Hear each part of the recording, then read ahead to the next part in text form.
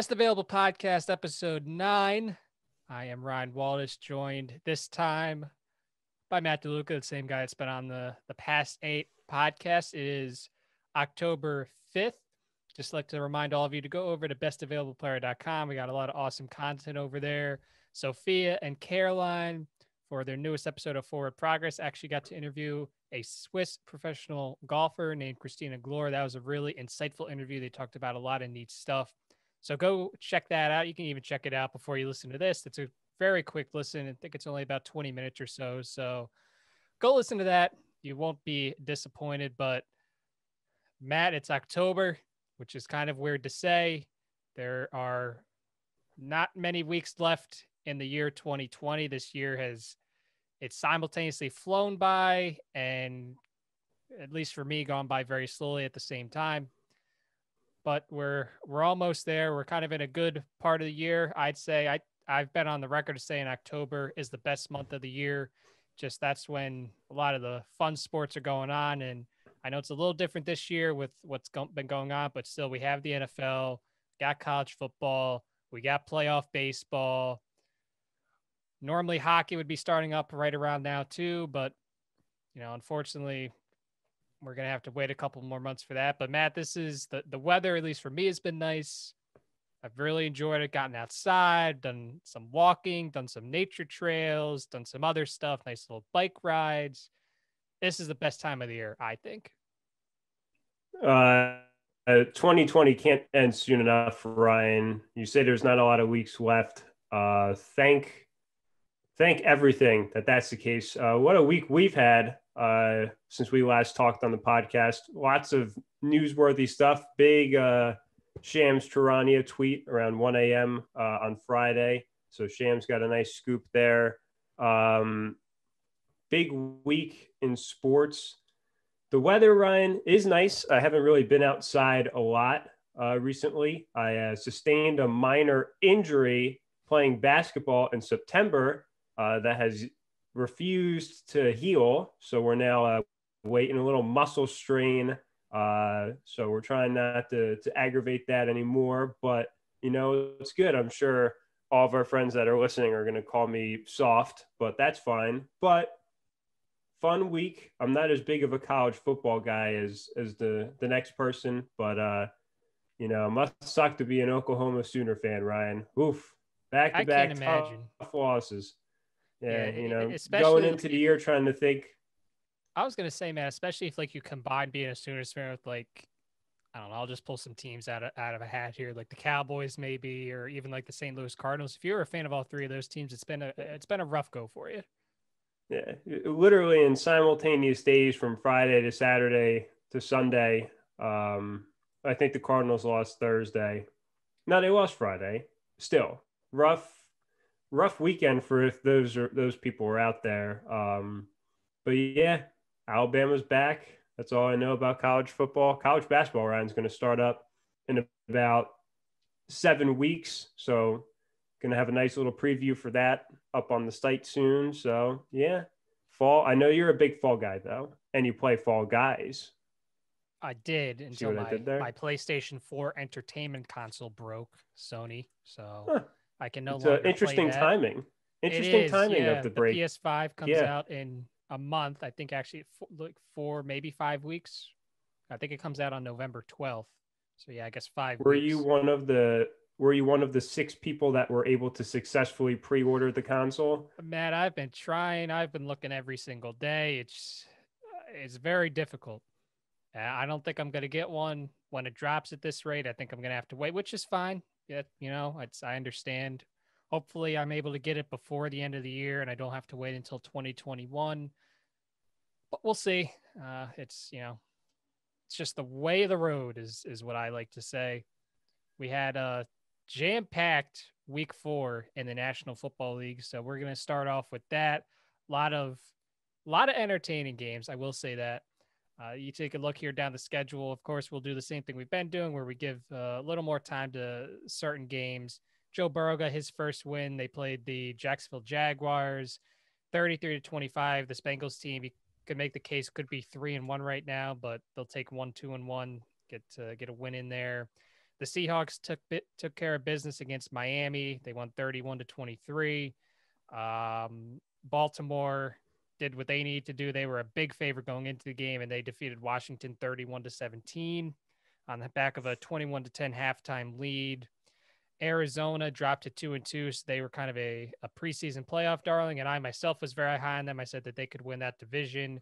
And after two strong weeks, they've kind of sputtered a little bit. They have not looked very good on either side of the ball, in my opinion. But I'd say the biggest one o'clock game, and Matt, this is actually kind of easier for us because one of these games got moved to week seven.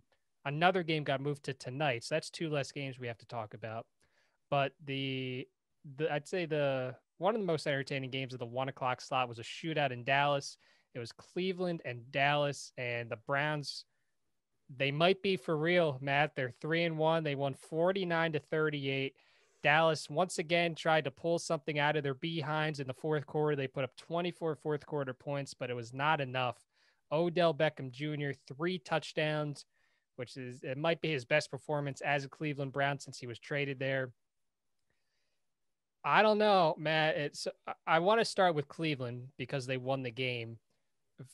You've been saying this for a while when it comes to the Browns, when it comes to most teams that are like the Browns, and I've kind of adopted the same mindset. You could talk about how much hype that they have, this and that, how much talent they have, but they kind of have to prove it to you before you buy in. And I'm starting to buy in personally to this Browns team. Three and one, their offense looks very good. I know that they they lost Nick Chubb. I don't know for how long. I think they still have to perform an MRI to get a an actual picture of how long he's going to be out. But still, Baker is has looked improved. The running attack looks to, I'd say, arguably be. Uh, you know, I'll say they're one of the best in the NFL. I won't say they're the best, but it, you know, even without Nick Chubb, they just threw other guys in there and they look just as good. Didn't seem like they missed a beat the defense it did look good until the fourth quarter. I don't know if that's because they let up a little bit and they're playing prevent. I don't know if that's just because Dallas finally figured out what they were doing wrong. But Matt, I think this Cleveland team, they're three and one right now. And yeah, especially with that added postseason spot where seven teams make it. You take a look at the Browns schedule, I think it's very possible that we're talking about this team making the playoffs for the first time in a long time just based on their strong start. Yeah, so I think with, with teams like Cleveland, uh, you're right. They I have a big show me attitude when it comes to to overhyped teams. Uh, uh Tampa Bay's in the same boat. If we're if we're talking just NFL teams, Cleveland. Uh, the one thing I'll say, Ryan, and I've said this about the Patriots for a number of years because of the division they play in. Good teams beat the teams they're supposed to beat. And to Cleveland's credit, right? So week two, you beat the Bengals, team you should beat with the team with the roster that they have. Uh, you play it was football team last week, right? And you beat the football team. Uh, and then this week you play Dallas, right? And it's not like they should have won this game, but Dallas hasn't really proved anything to anyone this year. So you get those two wins under your belt, and now you go up against a team to where you could kind of put yourself on the map. And I and I think they did 38 points when you allow that Ryan and 24 in the fourth quarter. Obviously, you have a little bit of an advantage, uh, and I'm going to preface that you were able to watch a lot of these games. Uh, I've had to play catch up um, because I got home around six o'clock uh, from work. But I will say, following along on Twitter, Ryan, uh, Cowboys fans were not too happy with their team's performance. Uh, I don't know what it is about this team to why they can't really put things into gear until the fourth quarter. I know we're going to talk about them uh, later on, but for Cleveland, Ryan, I think the best case scenario for them is what's happening right now, to where you have this great backfield that takes the pressure off of Baker Mayfield to where he can make the throws he needs to. And I think that's the best thing for him. And we, we I think a lot of people forget uh, that Baker Mayfield's still kind of young to the NFL, not too many years under his belt, and the fact that there's all this immense pressure on him being the number one pick, uh, this backfield really helps him out. Uh, then this guy D'Ernest Johnson, who I never heard of until yesterday, came in and had 95 yards on the ground. Uh, so it's it's a deep backfield that should help them out. Uh, Odell Beckham sorry, Giants fans, maybe cover your ears right now. Had a really good day, uh, two touchdowns. So I agree with you, Ryan. They're showing me, and I will admit it. Uh, I, I've. It's not that I've been a Cleveland critic. I've just I've been waiting for them to kind of put themselves on the map. So yeah, I I think they're in a really good spot and on the road in one of the few places that has fans. If we're talking still about you know home field advantage uh, to go into Jerry World and win, you got to give him props there. It's a really it's a really good step for Stefanski, and it proves that his stuff, unlike most of the guys that came before him in that coaching role, is working. So uh, it's exciting time for Cleveland fans to say the least. The AFC North has suddenly turned into a very competitive division. The Steelers, of course, they were not able to play this week, but they are three and zero. Oh. Cleveland and Baltimore both find themselves at three and one, and Cincinnati, who, as I said, you could make the case that they could be three and one right now too. They lose the heartbreaker to the Chargers week one.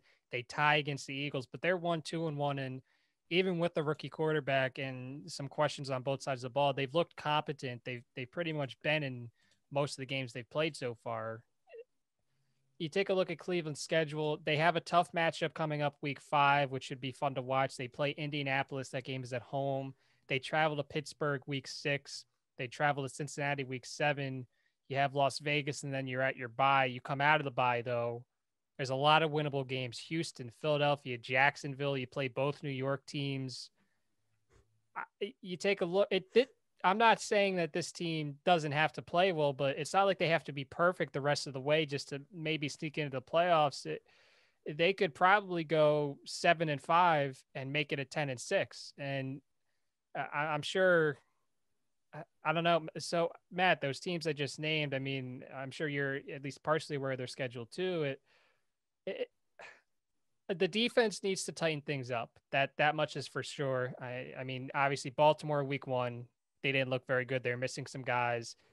You can't let a team score 24 points in the fourth quarter like they did yesterday against Dallas. But Matt, I think if this defense just kind of tightens things up, they could be I'm not going to say they're going to be a dark horse because I, I need to see more out of them, but I think they could be a surprising team as we get into December and then and then if they make it, maybe even January.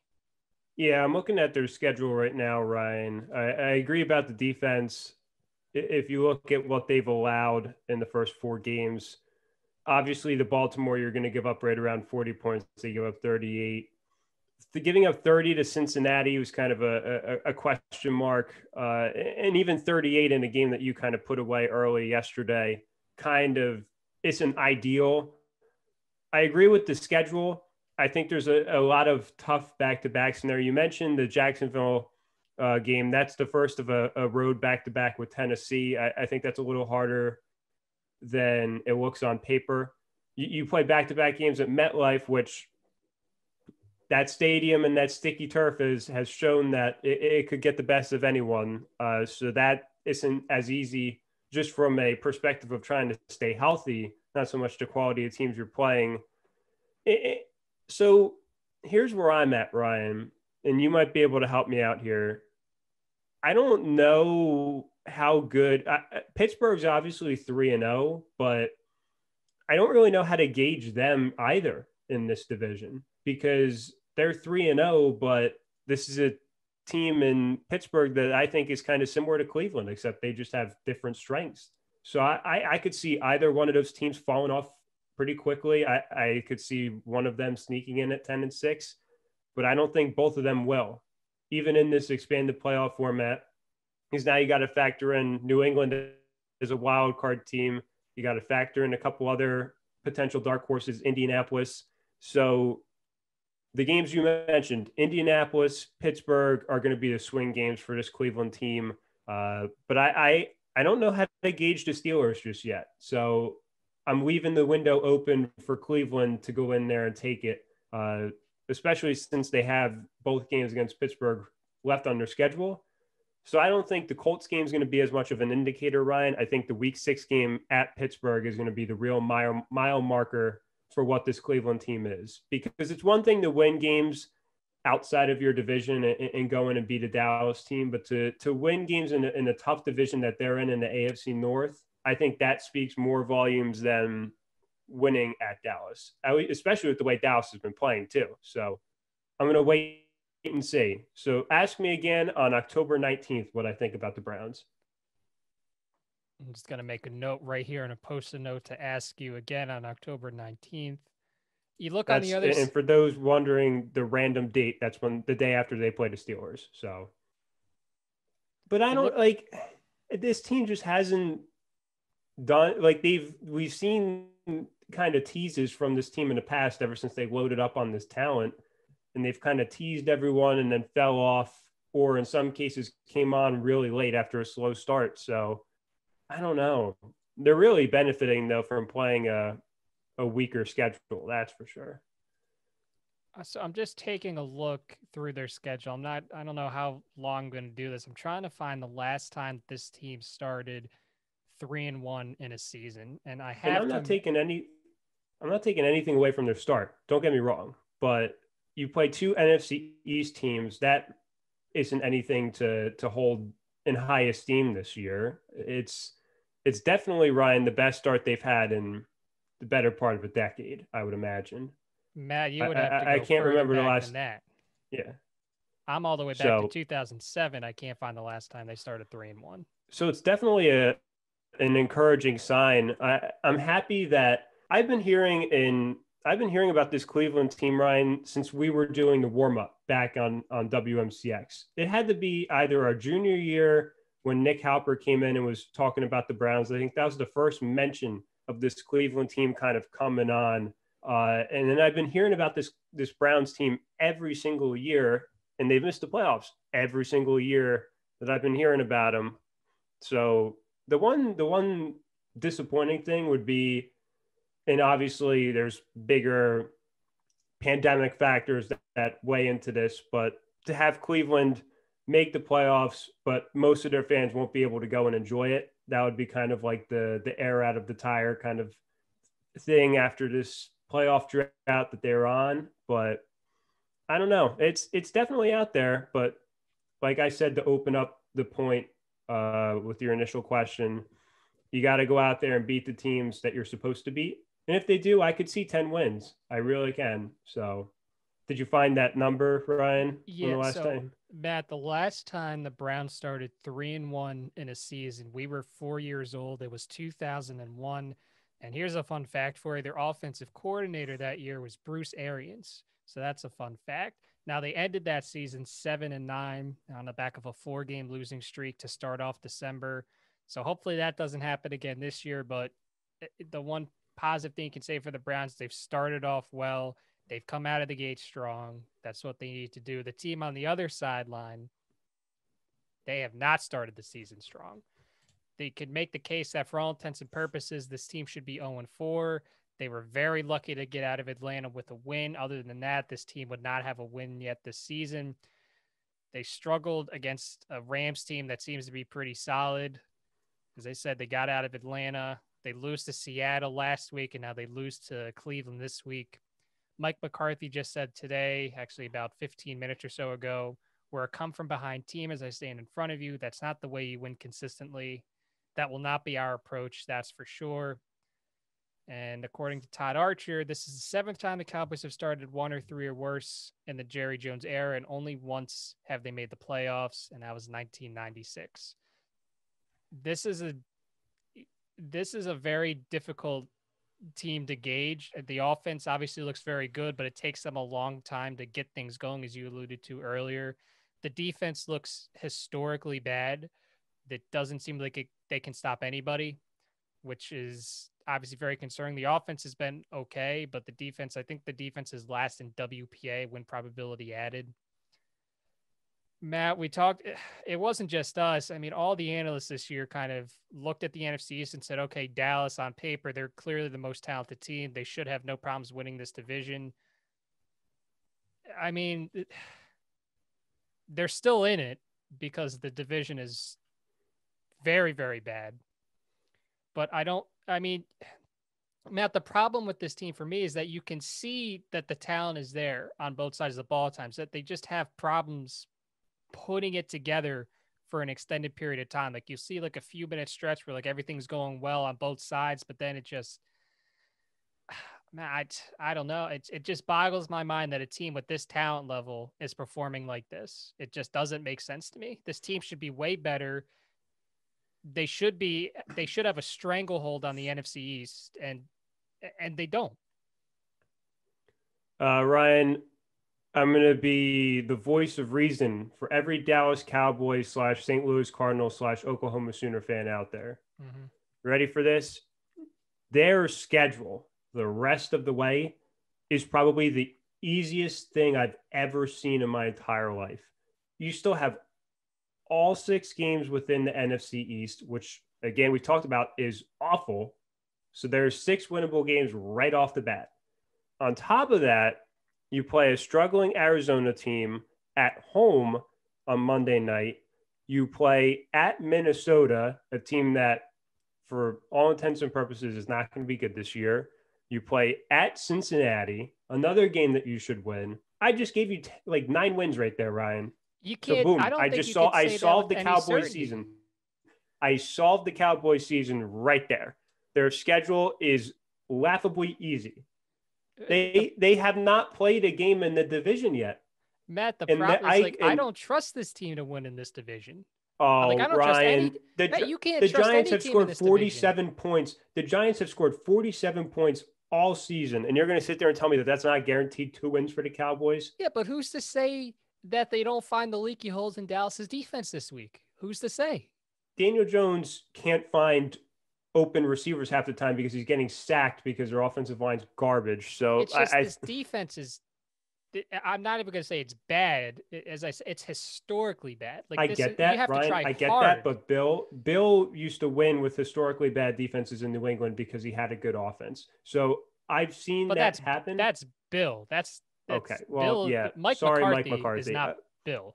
But Ryan, you can't sit there and look at this schedule and and not tell me that they're going to be in the mix by the end of the year. I mean, they'll they're, be in the mix, but they'll Ryan, be in the mix because the division's so bad. Ryan, the Eagles won a game, their first game of the season yesterday, and went from worst to first. So, like, I, I can't imagine that this Dallas team is at any point going to be out of the playoff race uh, because the Eagles, and we'll talk about your birds, they didn't show me enough to sit there and say they're going to win this division. I get Dallas hasn't played well this year, I'm just going to keep looking at the schedule. So any Sooner, Cardinal, Cowboy fan out there, look at your schedule and it'll make you feel better.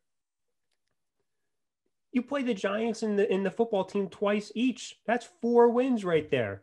Those might be tough games for this team if they can't like put a whole full 60 minutes together. You don't you could put together a good 6 minutes and beat the Giants. You don't Listen, even need a you, you need one good quarter the NFC Rams East divisional games are always tough. They're always a bloodbath. You never know what you're no, going to get out of them. Not this year. Anything the, can happen. The the Cowboys have basically a Pro Bowl roster on their offense. I'm not worried about them to to out. And if you get into a shootout, Ryan, you talk about the defense being historically bad. You're going to get into a shootout with Daniel Jones, Dwayne Haskins, and Carson Wentz and two of the the three quarterbacks I just named aren't going to put up as many points as Dak Prescott in this offense. So, and I would be even more inclined to say all three. So, I could see them going six and zero in the division. I really can. I I don't see how that's not a, a possibility. Because we went into this year, they're the preseason favorite. They have all this talent on offense.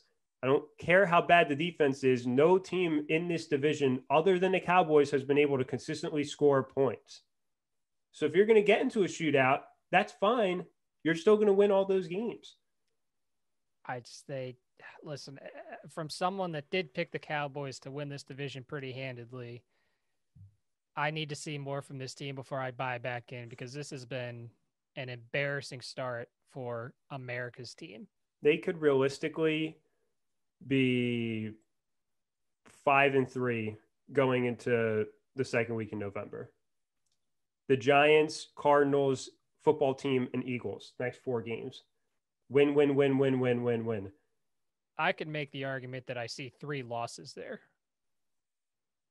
Arizona is the only game I could see them probably losing, or at Philly, just as a random in division loss. But again, they're much better. And I usually don't do the, the this this kind of plain thinking here of they're the better team, so they're going to win, but they're much, much better than some of these teams. So I'm going to use this plain, you know, black and white thinking here of they should win these games. Where's the they third loss? win the games. I don't Where's know. the third loss out of that, Ryan? I think I think Washington Oh, at Washington stop. could be a sneaky tough game. I think it could be sneaky tough. Stop it. Can you name 10 players on the Washington football team? 10. Can you name 10 players? Would you Would you actually like me to try to name ten players on the Washington football team? But you have to look at me so I know you're not looking at, you know, the roster. Okay, you got Yeah. Chase Young. Okay. Can I- and can you I- can can- make up some of these names and they'd probably be on the team. Can I say Alex Smith? Is that allowed? Because he is on the team. I'll give it to you. That Okay, Alex Smith. that checks out. You got Dwayne Haskins, Yeah. Terry McLaurin, Antonio Gibson, we're- That's five. Ryan Kerrigan, Oh, we're there we go. Logan Thomas. Okay. Um, uh, who's the they uh the defensive lineman? They have like a lot of them. Hold on.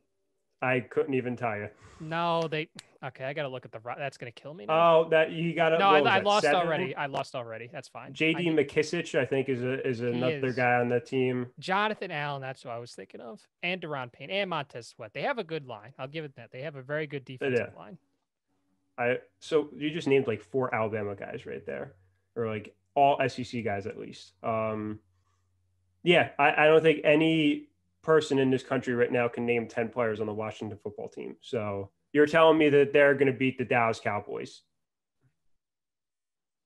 They could. You could No, make you no could way. make a case that if certain things happen. Yeah, and you know what? The and the the the Cardinal Sooner Cowboy fan will probably agree with you too. Uh, they were not happy yesterday on on the tweet world uh, about this game, but I just I can't see this being the trend all year. I, I, find it really hard to believe that they won't win this division by.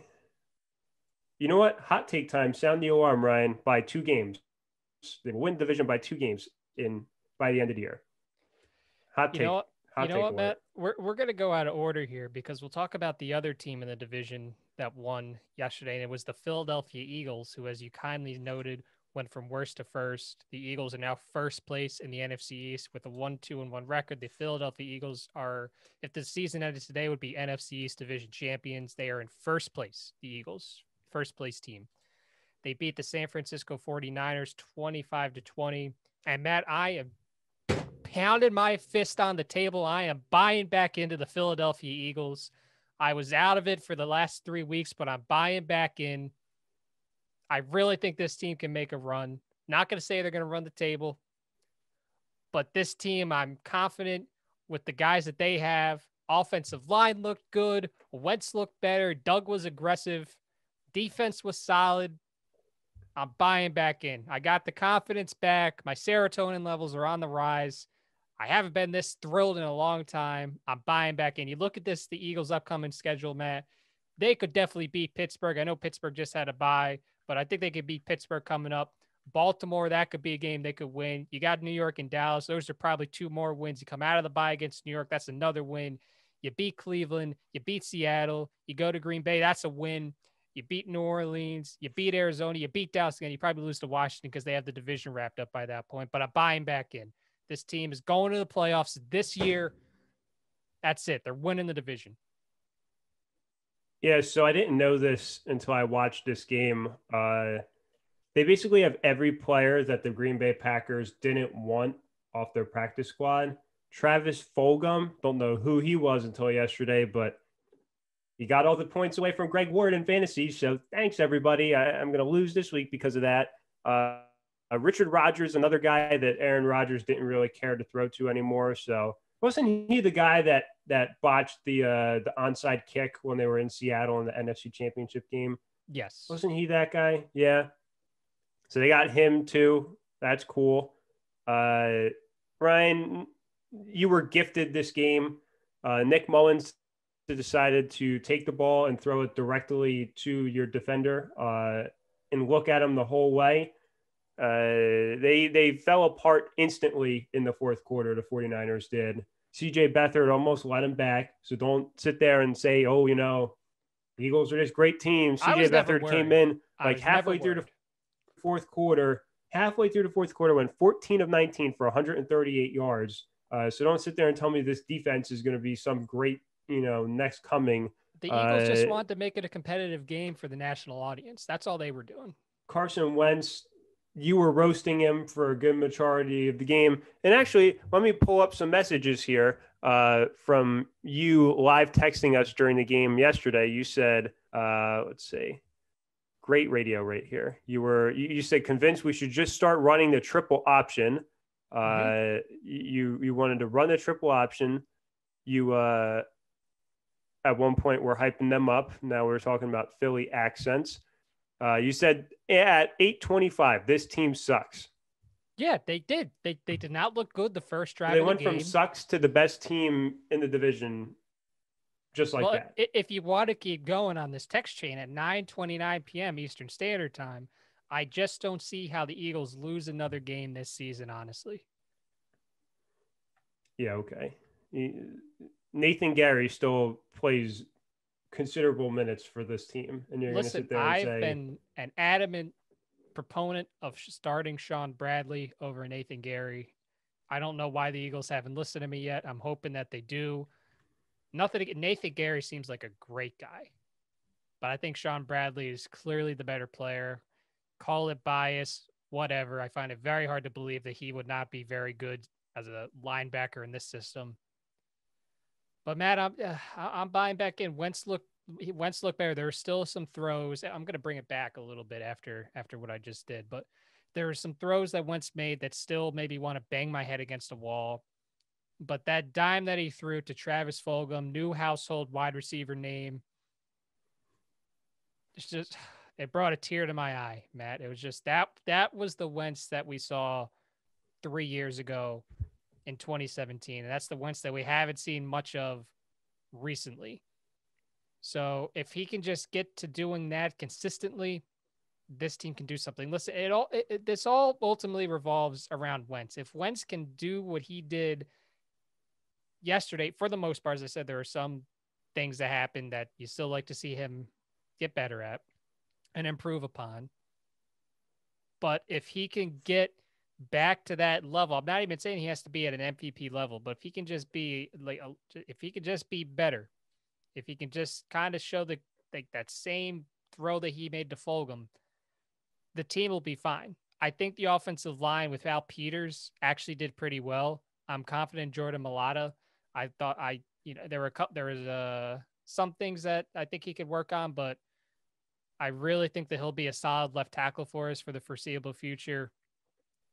Lane Johnson kind of missed some time, but that showed us Jack Driscoll, who I'm very confident in. I think he could be another Hal Halapoulivaati Vaitai kind of guy, and maybe even a little better than that. He's kind of showed me a lot of positive things to take away over the first four weeks. I think once you get Goedert back, once you get some of these receivers back, this should be a, a pretty solid team. So don't sleep on the Philadelphia Eagles. Don't sleep on the 49ers either. They're missing so many people, but once those guys get healthy, they'll they'll be fine. Don't worry. They'll they'll be in the playoff hunt. But yeah, it's uh, as the first Eagles victory that I've seen in 280 days, I think the number was. So it was nice. I'm taking full advantage of it. Yeah, the Cowboys are going to win your division by two games. So we'll uh, see. We'll see. Carson Wentz didn't even look that good. He, he all right, he threw stop. for Just 193 stop. yards. It ain't about the yards; it's about the process. You trust the process. Miles Sanders only had 46 yards on the ground. That's fine. Wasn't That's a great offensive output from you guys. You scored 25 points. Listen, that was a tough game against a depleted San Francisco defense. That's they still got some guys on the defense. That that listen. Your defense gave up a combined 301 passing yards to Nick Mullens and CJ Beathard. So traveling across good. the country, that's a good win against a good team that nobody expected the Eagles to win. They were, I think, nine point underdogs going into it. Good team win gives them the momentum they need to make a run. Yeah. The the worst thing that America needs right now is a confident Philadelphia Eagles fan base. So I don't know, Ryan. Congrats. Congrats on your first win and going from worst to first. It's truly a, a Cinderella story from week to week for sure. The Rams defeated the Giants 17 to 9. The Giants suck. They have a losing culture. If you don't think they have a losing culture, you're an idiot. The Colts beat the Bears 19 to 11 and just what was it? What a game, really. I, I feel bad for the people that couldn't check out that game. That was very entertaining. I want to make a quick point about the Chargers and the Buccaneers. I think we can talk about that for a little bit um, because the Chargers, Matt. Uh, well, for, I'll start with the Buccaneers. The Buccaneers, they look pretty good. The defense, I know they let up 31 points, but the defense looks solid. Brady looked pretty good, if I do say so myself, through five touchdowns. But the Chargers, Matt, I'm going to say it right now. I'm going to get it out in the open. Justin Herbert looks way better than I thought he would look. I don't know who this Justin Herbert is, but he's not the guy that I expected, especially considering all the circumstances, the way he was told that he would be the starting quarterback. And man, he's making some throws that that are very impressive. I mean, that I don't know if I'm going to be wrong about Justin Herbert, but right now he has proven me wrong. He has been very competent at the quarterback position. He's keeping this team competitive. He's keeping this team in games. They did lose Austin Ekeler. He's probably going to be out for multiple weeks. They did only have 46 rushing yards on the ground, and 14 of those came from Herbert. But Matt, I think this Chargers team, they started one and three. I don't think I don't know if they're going to make the playoffs, but they've been competitive. And I think you watch this guy that you put some draft capital in, hoping that he could be your franchise quarterback. And so far, he's proven that organization right. Yeah, so somewhere uh, in southern New Jersey or central New Jersey, Zach Cosenza is listening to this and saying, I told you so uh, to the man who has hated Justin Herbert for some time. Granted, Zach also thinks Herbert's like the best quarterback to come out since like Andrew Luck. I don't know about that. But I will give Mr. Cosenza some credit where credit's due. Herbert looks good, looks very good uh, to go into Tampa Bay and to have a hot start like they did, you looked really solid. I don't know how they're going to handle. So here's the thing: is if Tyrod Taylor was going to come back and play, Anthony Lynn said he's he's going to be the guy. But after what Herbert's done recently, and especially yesterday, you can't go back to Tyrod Taylor.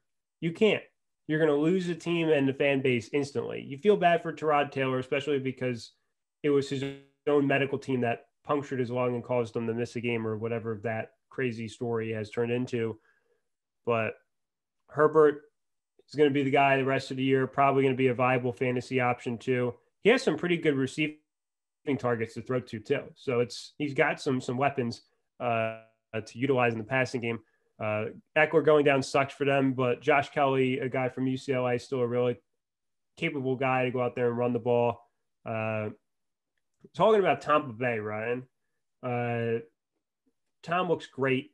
Uh, he, this was the game I was able to watch a lot of uh, since it was up in the New York market. They had this game on. Uh, Tom looked good. The so I will say objectively, the first half the offense for Tampa Bay, excuse me, Tampa Bay did not look good at all. Uh, a lot of three and outs, a lot of dump off screen passes, a lot of drop balls. Uh, of course, Mike Evans got hurt initially, came back. Um, Ronald Jones had a nice day on the ground.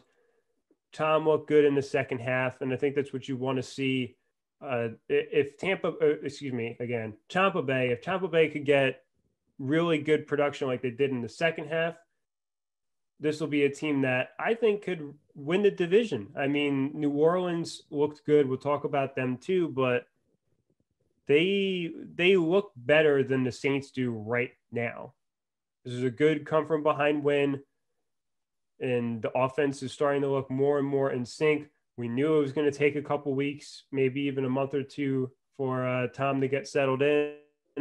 But this is I uh, I saw this stat line, and I was trying as a Patriots fan to remember the last time he played like this and and you got to go back. I don't even really count a lot of the games last year. It's this was a performance like vintage Tom Brady.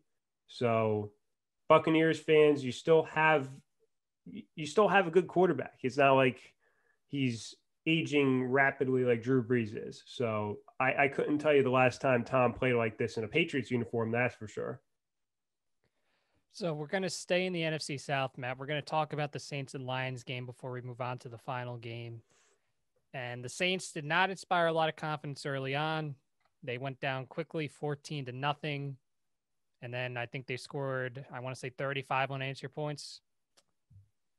Uh, so, okay, I need to make the preface by saying that the Saints, after going down early, they looked more like I thought they would going into the year. But Matt, Matt Patricia sucks. Like, I don't know how this guy still has a job. I, I don't know what he does exactly for this Detroit team. I don't know how he's still there. I don't know how they haven't fired him yet. And listen, this is coming from a big Matt Patricia guy. This is a guy that I wanted the Eagles to look at before they hired Doug. But this guy is awful. He's clearly one of the worst head coaches in the league right now. I feel like the team is suffering because he's there. And I feel like this team's not going to get any better until they fire him. Because you take a look at this Detroit team, they you can make the case that they shouldn't be one and three. They should have won the Bears game week one. The Packers game, they I, I don't think they were ever going to win that, but they barely they barely beat Arizona.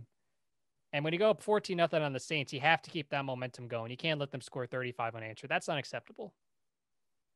And after the game, I will say this Matt Patricia said that he has work to do and he has to figure it out quickly but I don't know how you can see what this guy has done in his time there in Detroit. Of course, you remember they fired Jim Caldwell to bring in this guy. I, I, I don't see how you can, in any way, make the argument that this is the guy that you want leading your franchise. It's I, I don't yeah. think you can make the argument. No, so the the thing with Patricia, and we saw it with a couple other guys like Todd Bowles. Uh, they make great coordinators, but not great head coaches. And I think in this case, especially, it, Detroit, and I remember about a month ago, Ryan, we talked ourselves into Detroit being a sneaky playoff team.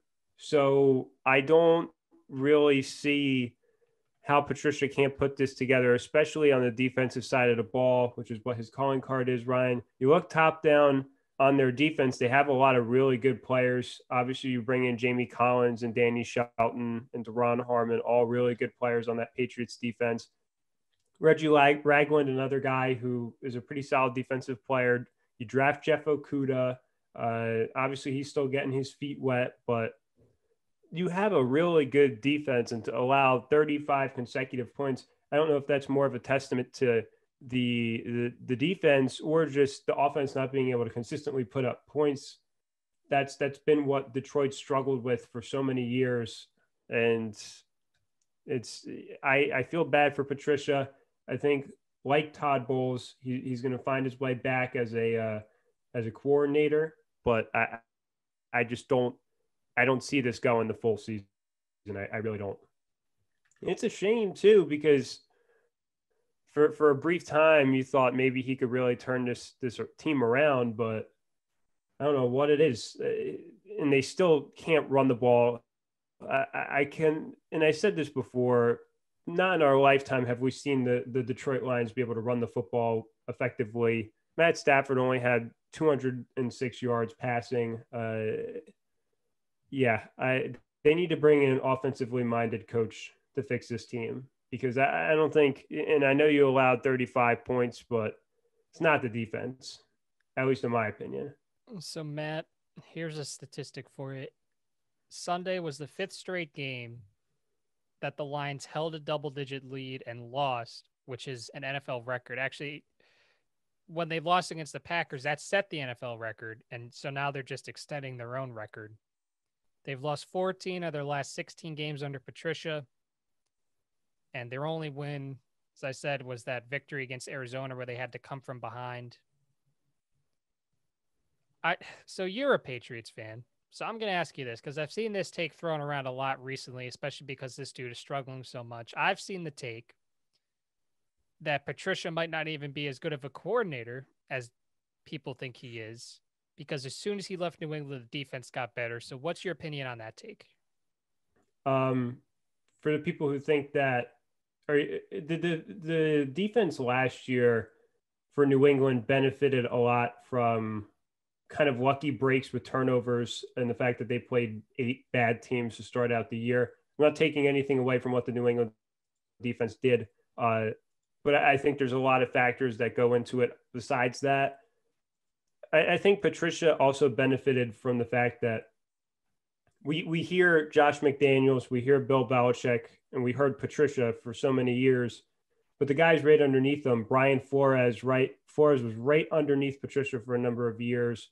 Uh, you have all kinds of other guys, Steve Belichick, Jerod Mayo on the coaching staff now. So it wasn't all Patricia's doing. And, and I will say that right towards the end of Patricia's time there, they go out and they get Stephon Gilmore, which was by far the biggest defensive acquisition probably in the past decade for New England.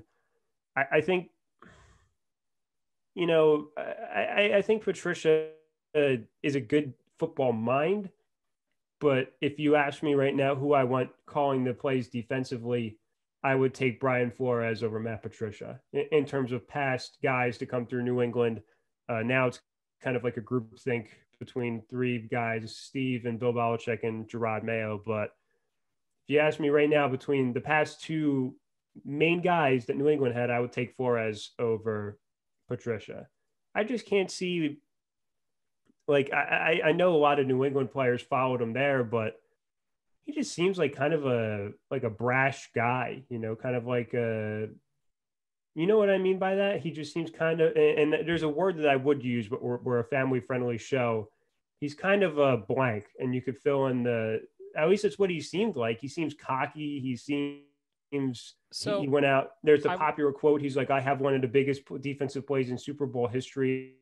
I'll, i know what I'm doing." Like, no, it was Malcolm Butler reading the play and coming up with an interception at the goal line. Like that wasn't all. He wasn't out there on the field, and Malcolm had to be have the awareness to go out and make that interception. So I don't know. I just feel like he's like strangely cocky for some reason this year. He, he wasn't really like that in New England, so I don't know where this kind of came from he also just doesn't like the media. So I'm glad he. Well, I want to say Bill this. I'm, I'm, glad you brought that up. I watched this guy's press conferences, and to an extent, they kind of remember me. They kind of remind me. There we go. Of Chip Kelly's press conferences, but when Chip Kelly was at Oregon, really his whole entire career, when he's had to do a press conference, he's. Uh, I'm not gonna say Chip was short with the media, but he uh, he's pretty witty when it comes to dealing with the media And the difference between Chip and Patricia is that I don't I never took Chip as being arrogant. And as you that's that's the thing I take when I watch Patricia talk in in any type of press conference setting. He there's no reason for him to act like he's this this big huge success. I get that what he's done with the defense in New England when he was there, but no, but I think it, there's a lot of other people there too. And I'm going to keep saying I'm not taking anything away from what Patricia did, but there's a lot of other people that have gotten other jobs in the NFL because of that same defense. So it's not just him. If my advice to Matt Patricia, because I'm sure he's listening to this, just maybe maybe take a step back and realize that you're not this great football genius that you seem to think that you are. And that would be my take. It, it's not like he's a because people obviously want to play for him if half the Patriots defense went there within the past three years. And then on the offense, Danny Amendola went there too. You, look top down, a lot of team players from that New England team uh, that he was on followed him there. So clearly he's something we don't see because we see the media aspect of it and he's kind of a cocky guy, but probably in the locker room is probably a good coach to be to be around, I guess. But like he comes off Ryan as just uh not a not a nice guy. So I don't know. It's we'll see. I, I really find it hard to believe that Detroit is going to have a lot of patience for this guy, especially because you missed out on guys like Kevin Stefanski last year in the offseason who's having success in Cleveland. So you're running out of a lot of, you know, hot coaching options. And if you want to stay on the defensive side of ball, I think Robert Saleh, a guy who obviously is the defensive guy at uh, San Francisco, could be a good option. But I, I think this team needs an offensive minded head coach.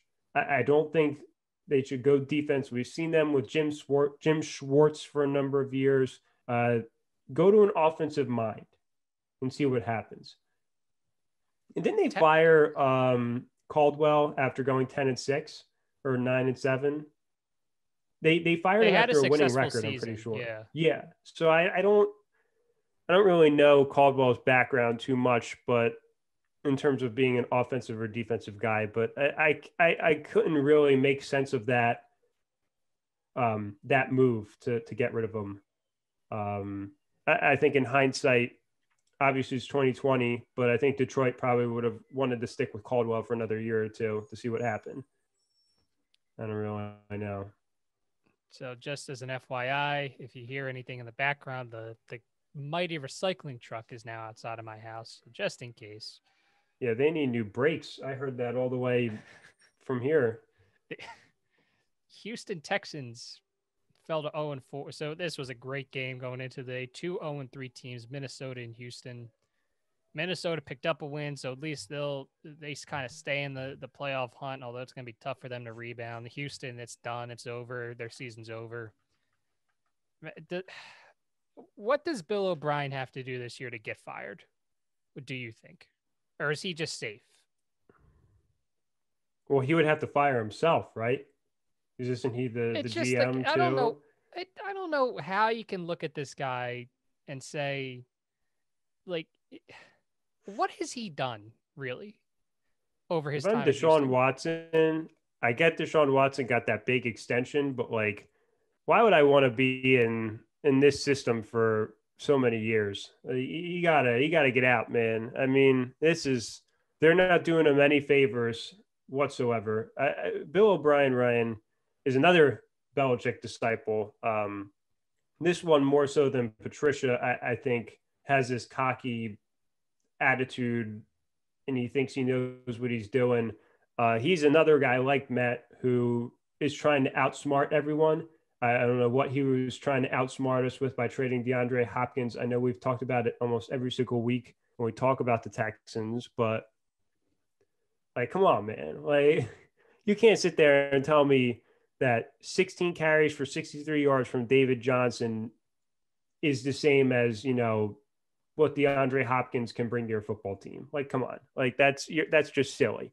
Uh, it's it's a long list of players they they dealt for next to nothing. I don't really know what he does as a GM. It doesn't make sense as a coach. Doesn't really make sense either.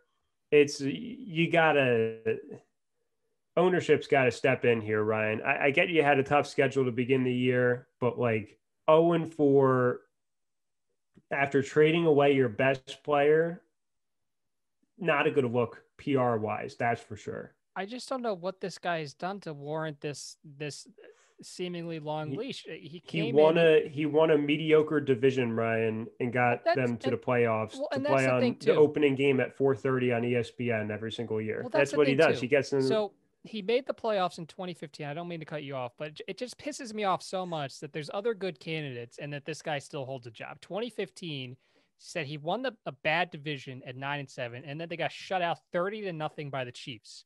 And that was in 2015. The next year, once again, they win a bad division at nine and seven.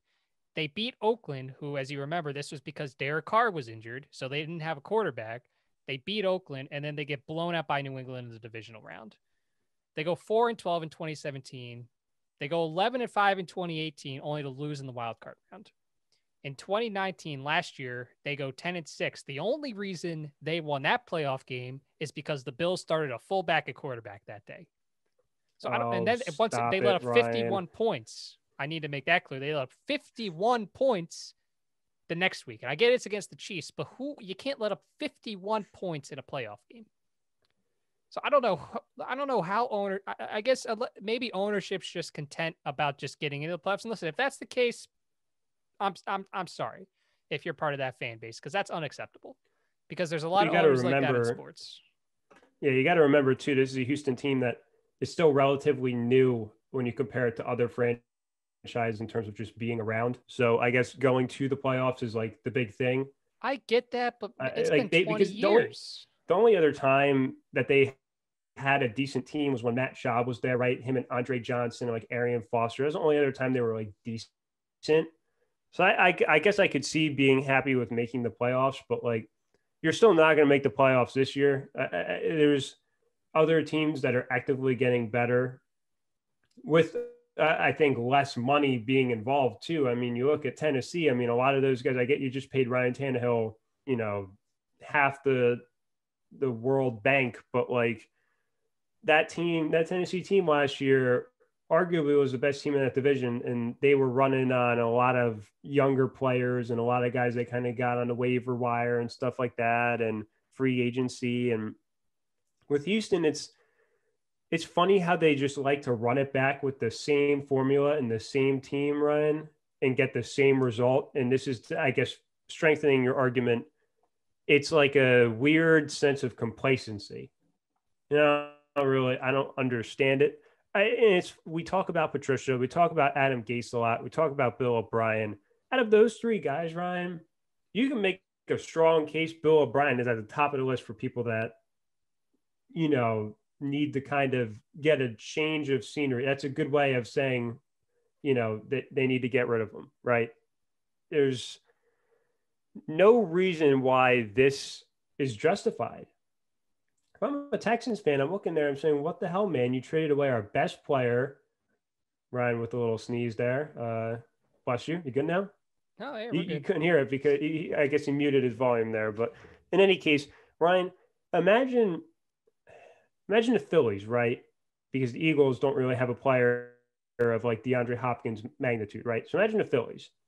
You trade Bryce Harper for like I don't know who's an old aging player in baseball that you train him for like Brett Gardner, right? And then you start 0 and 10 just to make it because it's 162 game season. You start 0 and 10. What do you think the Philadelphia landscape is calling for in that scenario? Um, they wouldn't be too happy. So to translate it over, I, I don't know why the fan base isn't sitting there saying like, "What the hell? You traded away Hopkins for," and I get there's more things that go into it. The play calling isn't always great. Uh, Bill wasn't always the best play caller when he was in New England either. Uh, I, I could always remember Brady liking Josh McDaniels a lot more than Bill O'Brien. So I, I don't.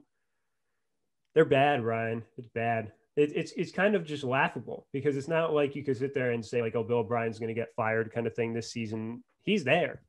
Like you're you Houston fans, you're stuck with this man. You're you're they're just running back the same team, the same formula every year. Romeo Crennel's still there. I don't, I don't know how. Like they're just running back the same thing every year. The Vikings, nice win there, I guess. So Matt, Kirk a team- Cousins is he? so, so we're not. so- Dalvin Cook looked great Cousins. though. Dalvin Cook looked great though. Um. Adam Thielen, I'm happy he's starting. My big question mark with Adam Thielen, Ryan, was without Diggs whether or not he was still going to get those targets. But it looks like Justin Jefferson is kind of on the scene now. He had over 100 yards receiving. So if I'm a Vikings fan, I'd be semi encouraged by that, I guess. But bad, bad, bad, bad from Houston. That's for sure. a team that's that's good, good, good is the Buffalo Bills. The last game that we have to talk about. They won 30 to 23 over the Las Vegas Raiders, who fell to two and two on the season. Josh Allen, not his not his best game of the year, but still enough to get the job done. Another couple of pa- touchdown passes. He ran in for another one. Defense did what it needed to do. This team started 4 0 for the first time since 2008.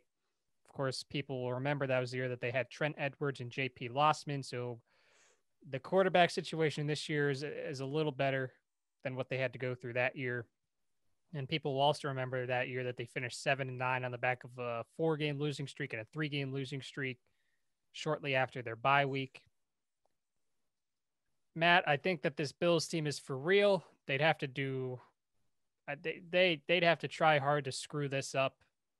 Clearly, I think they're making the playoffs. Are they going to win the division? I don't know. I have to see more New England. But this is this is a good Buffalo team. Josh Allen took the steps that he needed to take to become a good quarterback. Mechanically, he looks better. In all facets, he looks more confident. He looks more knowledgeable. It's just this this is a good team. This is a dangerous team as long as they can keep it up. You know, injuries pending. This is a good team, although we'll really start to see soon just how good this Buffalo team is because they've played the Jets, they've played the Dolphins, they played the Rams, who obviously are a tough team, the Raiders, you can make the case. But coming up, you play at Tennessee. You have a big Thursday night game, what might end up being one of the best Thursday night games of the season when they played the Chiefs. You travel to the Jets, and then you play New England, Seattle, and Arizona before the bye. So we're going to find out real quickly if this team is actually for real, which I think that they are. I know they haven't played the best teams, but I think that this team has shown that they're for real. Or we're going to see if they stumble a bit. But still, if you're a Bills fan, there's a lot to be excited about. There's a lot of great players on both sides of the ball. You have a great coaching staff, clearly. I don't know if, if I'm going to go so far say this is the Bills' year, but clearly there's a lot of positives that are building around this team. Yeah, uh, the one throw in the fourth quarter to Diggs deep down the field, I thought really encompasses the next steps that Josh Allen has taken. Uh, that ball was right there for Diggs. We talked about his deep ball accuracy at the beginning of the year. Uh, put it right where it needed to be. Uh, I, I, think right now they're better than the Patriots. I, I mean, I'm gonna have have to watch Brian Hoyer for the next couple weeks. Uh, so they're gonna have the lead there um, just out of sheer games in the standings. Um, I think when they go head to head, it'll be a nice mile marker. I think they're also going to be the better team in that respect, depending on you know Cam's health and everything. But listen, Buffalo's good. Do I think that they're going to really compete in the playoffs? Probably not. Uh, I will say though, Ryan, sound the alarm for a, for a hot take alert number two. Um, this team played Baltimore in the postseason. It's not a not as much of a lock as you think it is for Baltimore. I'm gonna hot take alert right there. No, it's not. not as much of a lock. right. Yeah, not. I uh, especially with the way Baltimore kind of shies away from the spotlight in the big games. That's been the one critique with Lamar Jackson. I don't want to make this a Ravens segment here, but listen, I don't think they're too far away, Buffalo, from that number two spot in, in the AFC. I, I don't think they're that far away. And that's coming from a Patriots fan who's watched them get beat down every year for the past like decade. So I, I think that they they're getting there.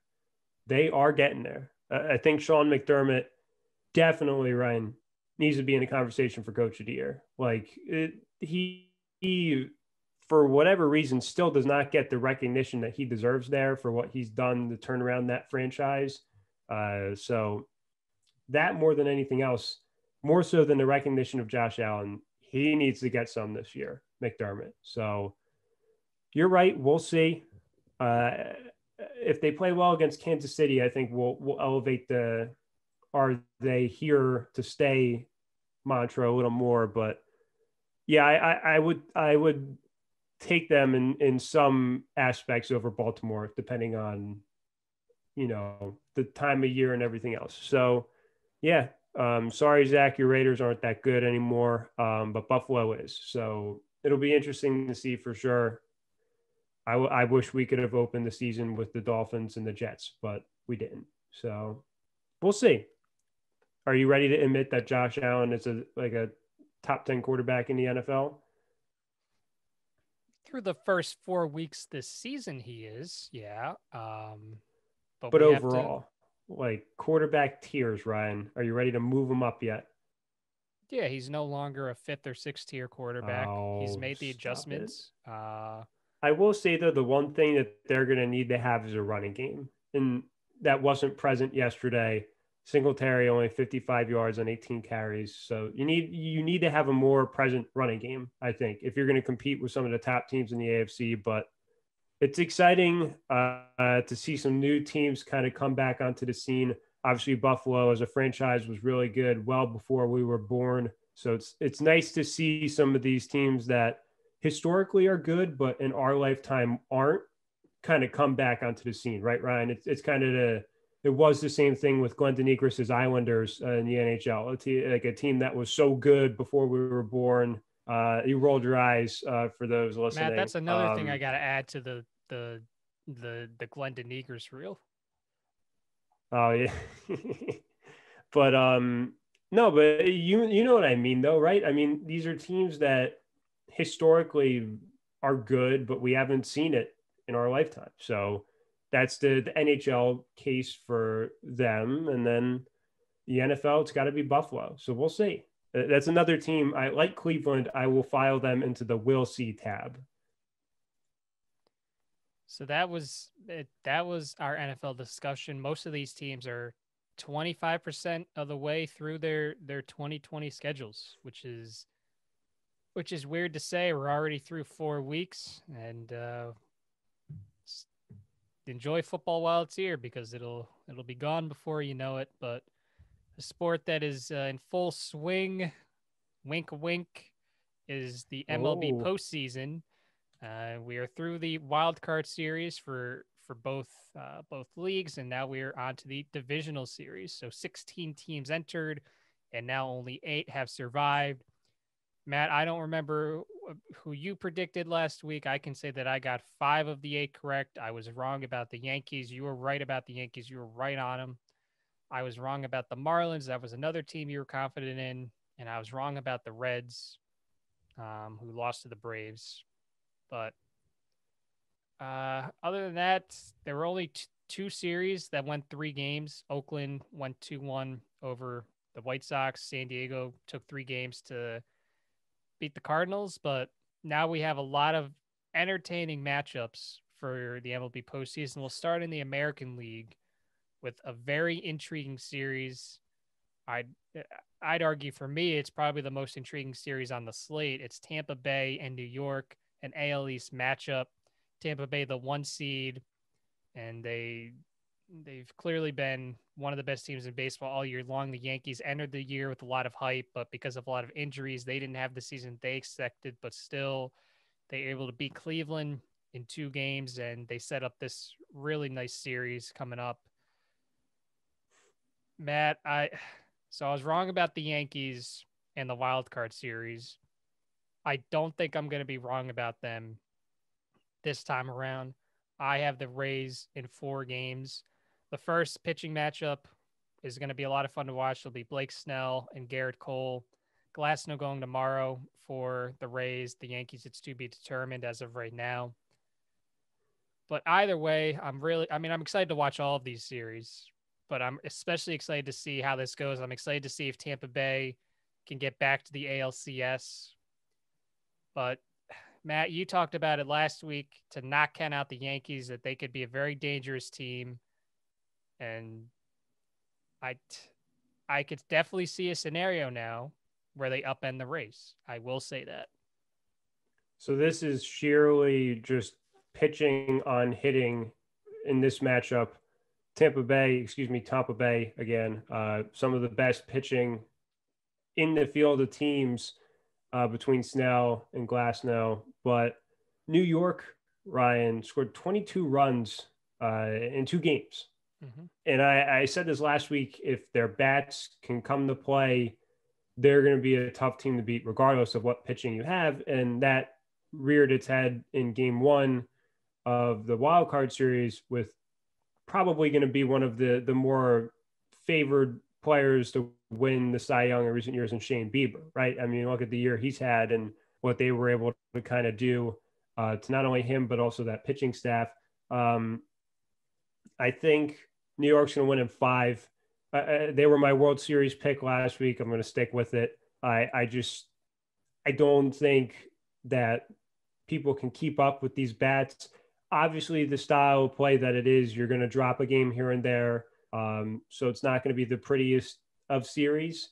Uh, and the person to not be named, so you don't have to add it to the reel Ryan, he's going to have to sweat it out. Um, but I just, a team like this, Ryan, that could score the way they can, all you need to do is get average pitching and then you should be solid. And I think that they can do that. They obviously have like one of the best postseason pitchers in recent years in Gerrit Cole, based off of what he did uh, in Houston. So they have enough pitching wise. I think they have a, a solid bullpen, uh, and obviously the and that person who won't be named um, has detailed how there's no off days, which is going to kind of factor into this, Ryan. So that'll be interesting to see with the the no time to really get guys on short rest or anything. It's you're going to have to put faith in your pitching staff. So I, I got New York in five. Gerrit, I will say this: Gerrit Cole pitched exactly like you would have wanted a guy you just paid all that money to in the offseason to pitch in the opening game. 13 strikeouts. They're going to need him to do it again. And I mean, I'm you know, I'm pretty confident that he'll he'll be able to pitch well, but I don't know. I think it's I'm all in on the Rays this year. I, I really think that if any year is going to be this year, it's going to be this one. Uh, although I will say it would be kind of nice if they could get eliminated early, just so that the Phillies could could maybe interview Erik Neander. But I digress. Uh, I know they're not going to hire him anyway. He's too forward thinking for my organization to handle. But the other matchup in the American League, Matt, this is another fun matchup. Houston and Oakland, an AL West battle. Of course, everyone knows. So everyone, not not you know, I'm not gonna. I'm a pretty humble guy, but I had picked Houston. Nobody else picked Houston, and they beat the Twins. I think that's the only reason that Houston made it through is because they were lucky enough to play a team that hasn't won a playoff game in I don't remember how many years and they're going to go up against Oakland, a team that just made it past the Chicago White Sox. The White Sox gave them a run for their money, but Oakland was able to pull it out. They won 6 4 in game three. Matt, eh, so this is, I like Oakland in this series. I, I, I do think that this will be a close matchup. I do think that Houston might give Oakland some trouble. I don't think this is just going to be a series where Oakland wins 3 0. I could definitely see it going five but I think I'm going to take Oakland in four games. I, I do think that Oakland is strong enough and talented enough to dispel the Astros. I said I think the Astros. I'm not going to say the Astros got lucky to play the Twins, but no, they did. You could say that. I, I will. So I here's think... here's how much of the not to cut you off the stroke of luck. Those three teams in the AL Central were not separated by a lot of games, right? Mm-hmm. So you could have realistically had a scenario where Houston could have played Chicago, and Minnesota could have been at Oakland, and we could have been looking at a White Sox A's divisional series. So they did get lucky. You can say it, Ryan, but go ahead, finish your point. I was, yeah, I mean, you made the point. I I don't think they would have won against any of the other teams that they might have played in in the wild card series, but because they did get the Twins, they they moved on. So so good for them. They're obviously the heel this year in the postseason series. A lot of people hate them, and rightfully so, especially because they keep trying to play this underdog role that nobody likes them. Well, there's a reason for that. Um, it's because you cheated. Correa and he, I don't, I, I, don't, know. I don't even want to talk about it. It's, I, I, I don't know how they can just with a straight face keep whatever. That's it's not it's not worth my energy. So you, you and I t- talked about it. Um, I brought up why the social media team for them kind of embraces this underdog role and like stay mad at us kind of thing. I you brought up the point which I agree with that I didn't think of initially is just to get interactions and reactions, but from a, a pure PR perspective, Ryan, um, I don't know if I would want my franchise after getting caught up in the biggest cheating scandal in like a hundred years to get cocky about it and be like, oh, stay mad at us kind of thing. Like, congratulations, you beat the Minnesota Twins, right? And the team that has not won a playoff game since we were like little children, Ryan, to put that in perspective. So I don't like want to sit there and, and, pat them on the back and say, Congratulations, you won a postseason series. Like you beat the Twins without cheating. Congratulations. Let's see you play a good team. Uh, I think this will be a five game series, though, Ryan. I, I, do agree Oakland will, will squeak it out. I think it'll be uglier than uh, a lot of people think it'll be, just in terms of the way that they'll pull wins out. They kind of struggled to to put the White Sox away, Ryan. I mean, Chicago made some late rallies in, in both those games, and Oakland didn't always look sharp. And this is another team in eh, like Minnesota who at least recently in our lifetime, does not play well in the postseason. So they're trying to to buck that trend a little bit. And I I, I hope well see, here's the thing, Ryan, is the only scenario I would want Houston to win is if they play the Yankees in the ALCS, because that will make for outstanding theater, um, in my opinion. But I, I think Oakland wins in five. I, I for the sake of just the world not having to see this Astros team keep saying, "Oh, stay mad at us," kind of thing. We just won again. Like Oakland has to go in there and win. But the irony of them playing a postseason series in Dodger Stadium the year after the cheating scandal is all there. All the irony in the world. So it, it would it would suck if they lost there, Ryan, in Dodger Stadium without cheating. So the tweet in question that we're alluding to before we move on to the, the National League. Houston tweeted a graphic uh, where Carlos Correa was quoted as saying, People are mad. People don't want to see us here. What are they going to say now? We're a solid team. We won a series on the road in Minnesota. So what are they going to say now? And the caption on it uh, by the Houston Astros Twitter account was Stay mad, we'll stay winning. And it got 3.1 thousand retweets, 2,000 quote tweets, 11.8K likes, and close to 2,000 replies. And if you look at their interactions, and this is the point that Matt said that I made, if you look at the interactions on the rest of their tweets, none of them come close to the interactions that that tweet got. So, do I agree with it? Do I agree that they should keep just trying to sweep this cheating thing under the rug and just act like, oh, well, why do people not like us? No, I don't think that's the best way they should have gone about. I mean, ultimately, it comes back to Manfred not punishing these guys harder. But well, it wasn't even that. Too. Didn't they also have a a situation with a, a female reporter in a locker room too? Or there was within... that, that. Yes, that happened there too.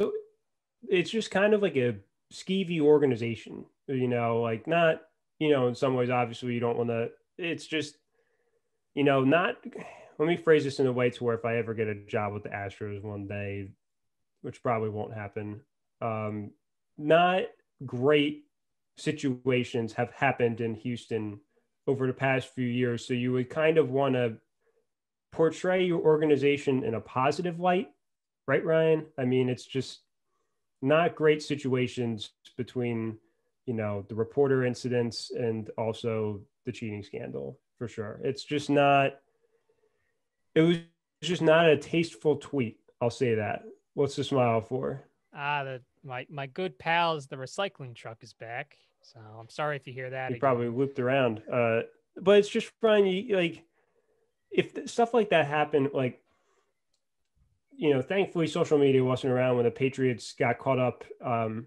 in um, Spygate, but I would have wanted the Patriots to not do this, right? So, coming from someone who's had to endure stuff like this and Deflategate, the Patriots never said, "Stay mad at us," you know, we deflated footballs, you know, stay mad. Like, you know what I mean, Ryan? Like, it's just. I get why, but like if you're doing all that for like social media recognition, like I I don't think that's worth it, in my opinion. From a, I agree. Uh, from a PR, from a, I'm trying to think about how I want to phrase this. If if the goal, obviously the goal for social media, you want to get interactions and get out there. So from that aspect, I agree. I don't know if this was necessarily the best way to go about it. There's a lot of great social media teams in in the sports landscape. And I follow a couple of people that are behind those and they just do an incredible job. This was an easy way to get interactions. I don't know if it was the best way. But listen, that yeah. there's two sides to it. I can understand why they did it. Do I agree with it? Like, Not necessarily. How much like but what is that like social media interactions like obviously that's a big part of sports nowadays but like how much revenue is that going to really bring in to kind of portray like you, you would want to portray yourself in a better light than that uh, we'll see though how it works out with this oakland series in terms of the players itself themselves ryan i don't really know like you brought up correa saying oh you know what are they going to do now like we went on the road and won a playoff series like you beat the minnesota twins in two games in front of no fans. Like, I, you know what I mean? Like, it's who are you trying to prove? You know that you could hit a baseball without hearing the banging of a trash can. Like, it's it's just annoying. I mean, it's the the, the post. They, you don't need these guys in the postseason right now. It, they're like strangely cocky for a team that really didn't get punished at all for what happened. So it's, you know, it's on Manfred, it's on a lot of people, but not a good look for sure. Moving over to the National League, two more uh, interdivision matchups in the divisional series. We'll start at the bottom with Miami and Atlanta. Uh, as I said, I was wrong. I, I really thought that the Reds would have put up more of a fight. I didn't know that they would have left their bats in Cincinnati and they just went up there without bats, apparently. But I'll give credit to Atlanta. They listen, they they did what they needed to do. And I mean they the first game it could have gone either way. The Braves only needed one run there. The second game they scored five runs. Obviously the Braves pitching was a lot better than I thought it would be. I don't know if it was because of the Braves pitching or the Reds' inability to put the bat on the ball. But regardless, they moved on and they will be playing the Miami Marlins, a team that still has never lost a postseason series in their entire franchise history. They are perfect. They swept the Chicago Cubs. They won game one, five to one, won game two, two to nothing. And now they have advanced the NLDS. I'm in on the Marlins. I have the Marlins in five. I've bought into this team. Part of it is so the Phillies ownership can see how stupid they were over the past however many years to see how they have now fallen behind the Marlins in terms of talent evaluation, talent development. Part of it is because I really like what this team does on the field. They're not necessarily that team that just goes for the and listen, I, I get the whole launch angle, exit velocity, home run or strikeout. I get that. I get the three true outcomes thing. I'm not as against it as a lot of people are, but I like what this team does because they go against that. Don Mattingly and his team, they play a lot of small ball. They do things kind of a different way because they have to, and it works for them. So I'm all in on the Marlins. I think that they're going to upset the Braves here, and I think that they're going to move on to the NLCS. Yeah, so I I originally really liked Atlanta, and then and you talked me into Cincinnati. That didn't work out well. All right, uh, I, I, I, almost don't, picked. Don't I don't. I can't. I think I picked Chicago to beat Miami, but you you talked me into too. Cincinnati.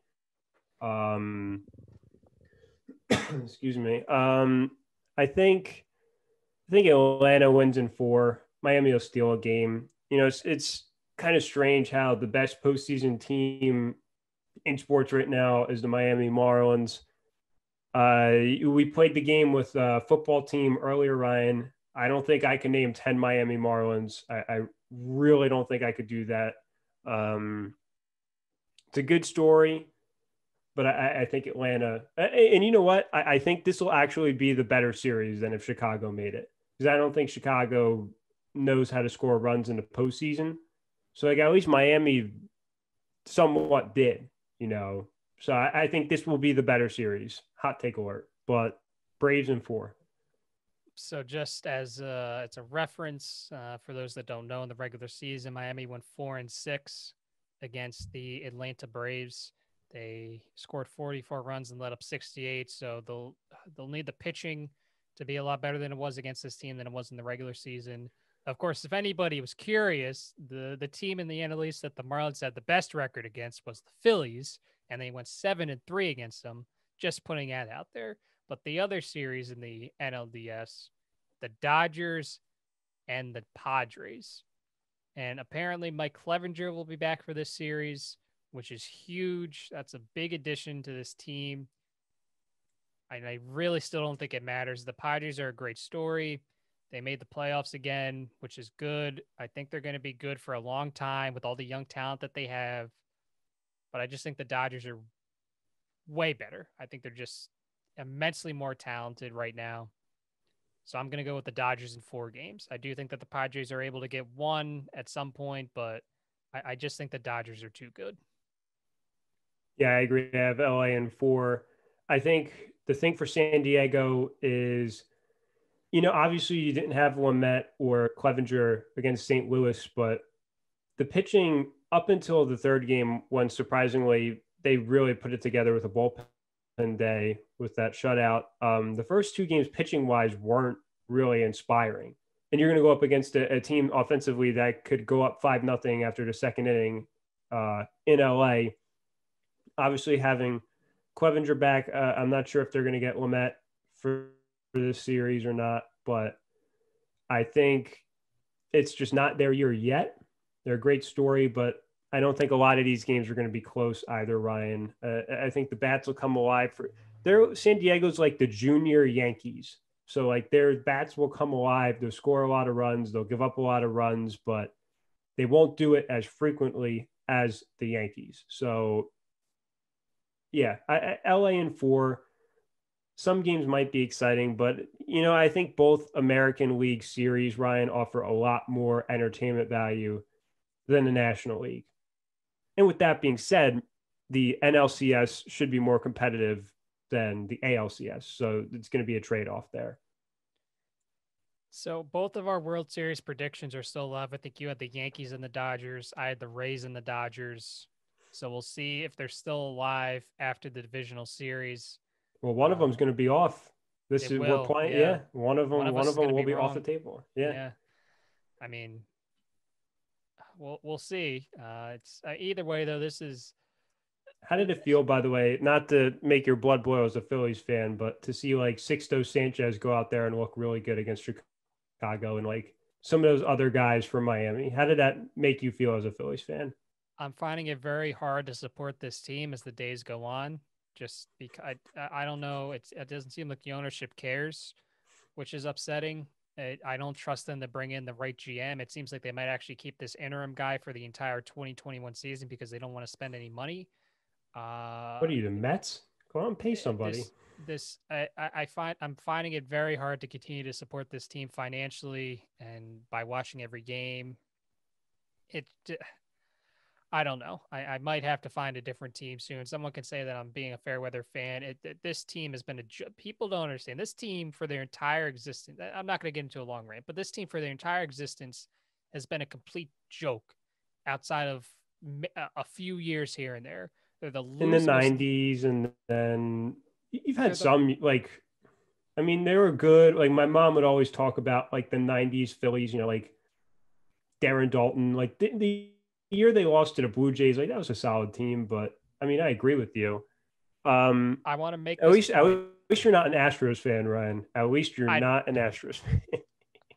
so this team, what? I want to make the point, went from 1883, the first year of their existence as the Philadelphia Quakers, to 1914 without making the playoffs. And obviously, it was a lot different back then. It was there wasn't really playoffs. It was either you made the World Series or you didn't. In 1915, they finally made the World Series, but they lost in five games. And then from 1916 to 1949, nothing. 1950, they lost the World Series. They got swept. From 1951 to 1975, nothing. And then they lost the NLCS three straight years. They make the playoffs in 79. They finally won the World Series. They got over the hump in 1980. They made the playoffs a couple more times there. Then from 1984 to 92, didn't make it. 94 to 2006, they didn't make it. And now from 2012 to now, they haven't made it. This team has been a joke their entire existence. As I said, they're the most losingest franchise in baseball history. They were the first, I think, the Are first professional. Yeah, and I think they were the first professional sports team ever to lose ten thousand games, and that happened in two thousand. I think two thousand seven, when they lost to the Cubs. I'm pretty sure that's correct. I'm ninety nine percent sure that's how it went. So I now, don't does know. it go when you say losing his franchise? Is that based off of uh like percentage, or is that sheer amount of games played and lost? the sheer amount of games lost. Okay, well, you're also more games than any other franchise, which is unacceptable. no, but you're you the friend. They've also been around since like Grover Cleveland was president. But so I there's mean, other teams that have been around that long too, and they haven't lost that many games. okay, yeah, but at the same time, I mean, so It's here let me pose let, let me pose this to you, Ryan. Here's and and the Phillies made recent news um, with some of their front office moves, so that's why we're talking about them. Um, for those saying, why are we talking about the Phillies during the uh, postseason show? Um, would you rather be a Astros fan, Ryan, or a Phillies fan? To have no success, but none of the extra baggage, or have the baggage and the World Series. Astros. Oh, So the Phillies, for those that are interested, the Phillies have lost eleven thousand games in their in their span, and they've won nine thousand eight hundred and twenty-five. So that's a percentage of four seventy-two. So actually, for those that are interested, the Phillies have the fifth worst winning percentage in all of baseball. They are at .472. The only teams worse are the Mariners, the Rockies, the Marlins, and the Padres. So there, there's a fun. Oh, here's another fun fact for you: the Braves started playing in 1876. They only have 10,659 losses. The Cubs started in 1876. They only have 10,404. and they were the lovable losers too. Yeah. This team has been a joke forever, even before I was born. But you're the weird thing with the Phillies, Ryan, is you're in a win now mode with your roster, but your front office seems to be in like, eh, you know, we'll see what happens kind of thing. And the problem with what they did, so Klentak, he's not gone forever. He's actually still with the team. I don't know. Yeah, I saw that. Got that. demoted. He's still he's taking a different position. Andy MacPhail is still there, and his his last name is is a great personification of the type of guy that he is as an executive, as a front office executive, because the guy fails everywhere. The fact that he's still there is such a big issue. They brought in both of them at the same time, and uh, listen, I'm not going to get this. This isn't the story. This isn't the big thing, but they brought MacPhail and Klentak in at the same time, and but apparently they could only demote Klentak because they weren't successful. Well, if they weren't successful, why is MacPhail still there? Why is MacPhail one of the people that's going to help try to find the next GM? If they weren't successful. And listen, I the smart pe the obviously the smart thing to do, find somebody with the Rays, find somebody with the Yankees, find somebody with the Dodgers, give them a blank check and bring them in to fix your organization. Don't take anybody from the Angels like you took Klentak.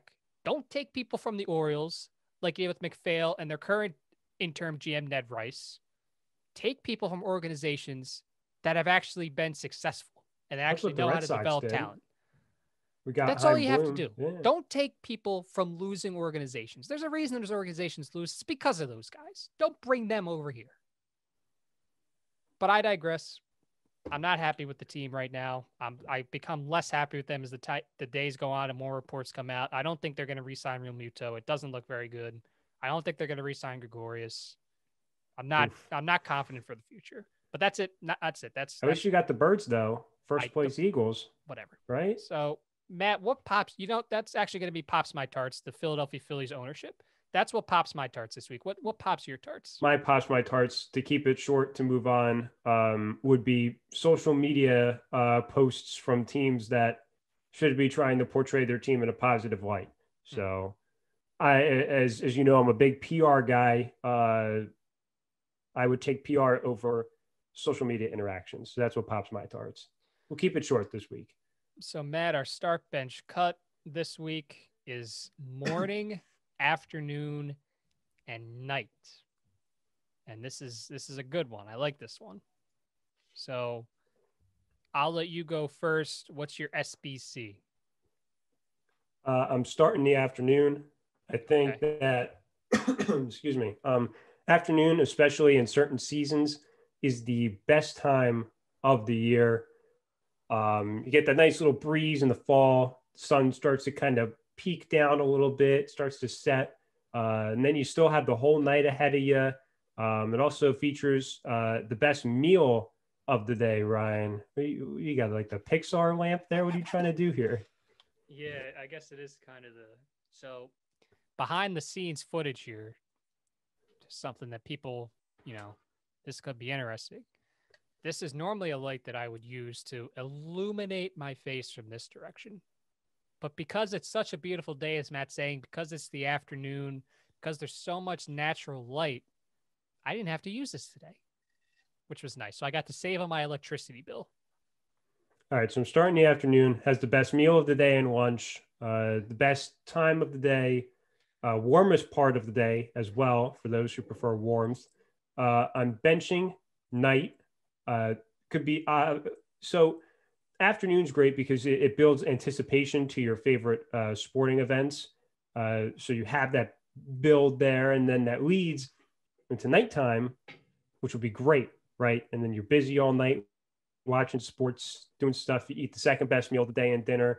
Um, so night is number two, uh, and then I'm I'm cutting uh, mornings. Mornings suck. You and I did it uh, for a long time, waking up at like 6 a.m. to go to a morning show, uh, and then the past year, I'd wake up at like 5 a.m. to go to work. Uh, wasn't great, um, just in terms of waking up and it's still being dark and then leaving work and it was dark again. So I never see daylight. Daylight's great, Ryan. So I'm, I'm I don't like mornings though. People who wake up to watch the sunrise, I think, are weird. Why would you want to wake up at 4 a.m. to go watch something, you know, rise from the ocean? You know, like it's not a thing for me. Don't do that to yourself. Cut the morning. Mornings suck. Uh, um, I guess that, I guess when we become like full, like 30 year old adults, Ryan, I think, I guess that's when we start liking mornings and saying, oh, I'm a morning person to like the people on Facebook that say, I love mornings. I wake up at 7 a.m. to make breakfast and watch Good Morning America. Like those people are psychos. Wake up at 10 a.m. or start your day that way. Especially, you know, because I've been working nights the past summer. That's why I wake up at 10 a.m. Don't think I'm like, you know, I, but sleeping in and waking up and the morning's already gone. Great feeling. So cut in the morning. I was gonna so I'm also gonna start the afternoon um, for the reasons you said. I was gonna say I can envision a time in my life. I don't know when it will be, where I wake up at a nice early mo- a nice early time. Sun's coming up. You hear the birds chirping. Maybe go out on in your backyard, on your deck, on your patio. Sit down, just kind of be with yourself. Just kind of have a nice, calm way waking up I can envision myself liking that at some point in the future. That's not what I like right now. I, I listen eh, in my mind. I would like to wake up earlier than I do and start my day earlier and be up in the morning and do stuff in the morning and feel productive. In my mind, that seems like a good thing to do. I can't do that right now. It's just, I, I think, as you alluded to, we did it for an entire year, waking up at six in the morning to do a 7 a.m. radio show. I think I I still need a break from that three years later. So I have the same list as you. I know that's not great listening fodder for all those out there to have the same exact well, here, start cut, but I'll give something for people to listen to. Let me paint this scenario for you, right? Your alarm goes off 5 a.m., right?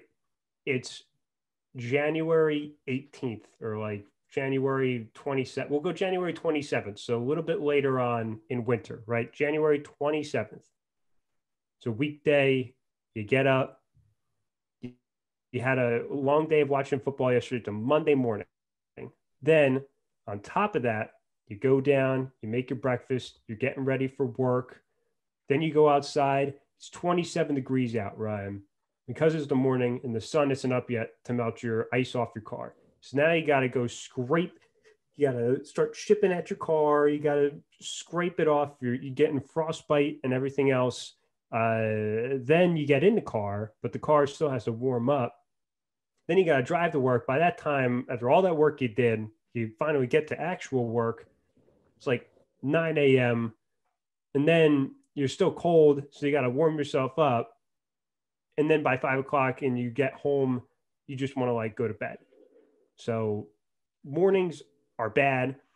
Um, I will say though, there's a big difference between 5 a.m. and like 9 a.m. Right. So if you wake up at like 7:30 or like 8 o'clock to start work at nine, that's not so bad. But like when you got to wake up at like 5 a.m., if you have like an earlier shift, you got to be there by like seven or something. Not good. So there's a picture I paint. I will say there there's certain months, and you kind of alluded to it as well. It's not fun to wake up early in the morning in January. I'd say from like September to maybe the first couple weeks of November, it's kind of nice. I'd yeah. say from late April to mid June, it's nice to wake up in the morning. And maybe you can make a case a little before and after. But the other times of the year, it's not fun to wake up that early. And as as me and Matt have both alluded to, we would know because we did wake up early in those months.